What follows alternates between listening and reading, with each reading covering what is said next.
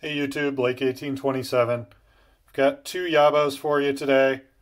Uh, first one, real quick, quick, is a crocheted pipe sock from Cat Dad Piper, otherwise known as Cosmo. Um, I believe he's still making these, and he's making them himself. So check out his channel and his information. I'll leave it uh, link in the ashtray about him. And then other Yabo I just got in the mail today, been waiting to open it for you guys, is from Danish Pipe Shop. So, so I grabbed a couple things, and I'll touch on that here. So, we'll save the pipe for the end. Uh, usually they send out these little licorice pipes with orders if you order a pipe through them. So, those are always delicious. Um, this will come back to.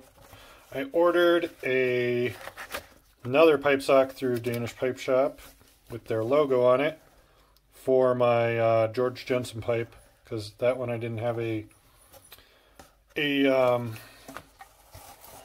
a pipe sock for. So even though I just ordered this one from Cat Dad, I wanted a Danish one essentially, or at least one to stand out for Danish stuff. So I ordered that. I also ordered another uh, leather pipe cleaner holder and made in Italy, but it's got the Danish Pipe Shop logo on there. And these were really affordable prices. They always send me another sticker, so I got that. And uh, we'll show the pipe and then I'll show you the other piece and what I've been up to. All right, so I do not make impulse purchases on pipes anymore. I really try to sit on them and think about them for a while. And that's what I did on this one. I saw this one. I thought about it probably for at least two weeks and I just could not get it out of my head. It really checked all the boxes of the style of pipe I like. Um, if you see my other pipe videos of my pipe collection or my uh, Danish pipe collection overview style collection. Um, this one is right up those that alley. So let's take a look. And this is a uh, Neil or Kai Nielsen um, pipe. So this is a Danish carver. Oh, it says Kai right there on the pipe sleeve. Sweet. All right. All right. So it's a squat tomato or tomato uh, just kind of canted forward slightly. But this black finish and the sandblast I really liked. Uh, that's what I liked so much about it, as well as the saddle bit, obviously. Um, the bit is acrylic, but he does still hand carve these bits. So I'll let you take a look there. And obviously he's drilled it. Looks dead center to me. And bowl coated. But yeah, it's got this nice little polish. Got a stamp on there. Uh, three V's. I think on the sandblasted stuff it goes up to one through four. So four V's is his highest grade. Uh, so this is three V's. And uh, yeah, I am excited about this pipe. Um, yeah, nice small chamber, not too big but really checking all my boxes for what I like as far as pipes go. So this is my first Danish artisan, real handmade, besides my Erik Nording that I'll show you in a second. Um, yeah, so we'll move on from this. But that's my new pipe. I'm sure you guys will see me smoking it very soon. So the last thing I've been up to is another little project. I am retrofitting two stems. So I've got this uh, Nording compass that I really love.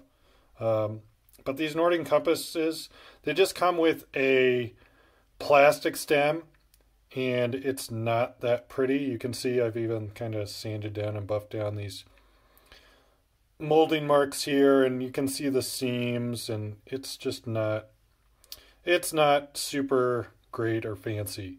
So I ordered some Forever stems from Vermont Freehand.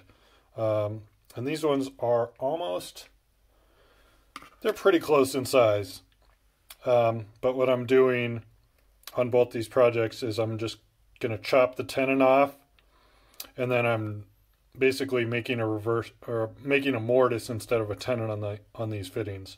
So I'm going to drill this one out to match um, just the tubing on this one for the Nording.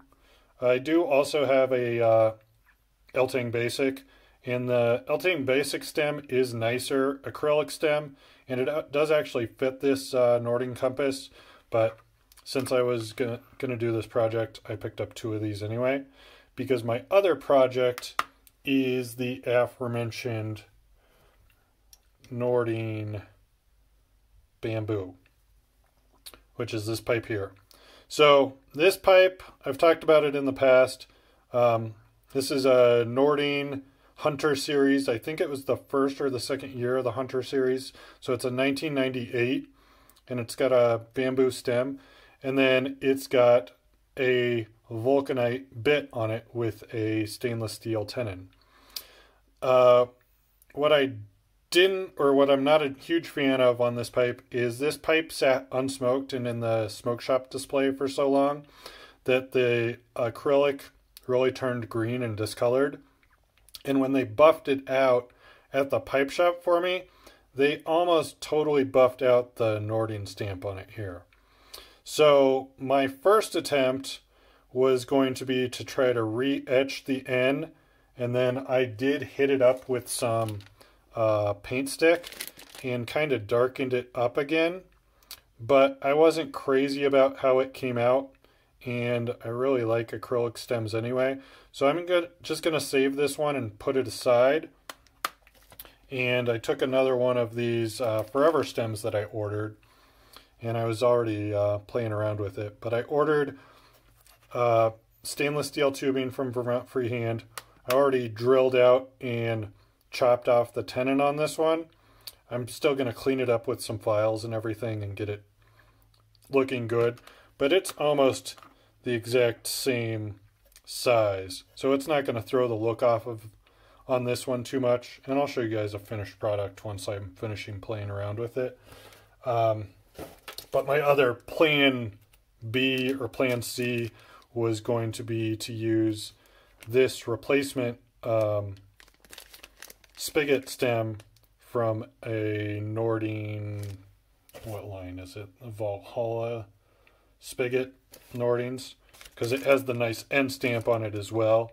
But this one, uh, it's a obviously a spigot, so it's a bigger size. And I don't know, I was going to play around with it and see if I can make it work or modify it. But I think I'm going to stick with the uh, Forever Stems from Vermont Freehand. So that's what I'm up to. Thanks for staying tuned. Sorry this went so long, and I will talk to you guys all later. Take it easy.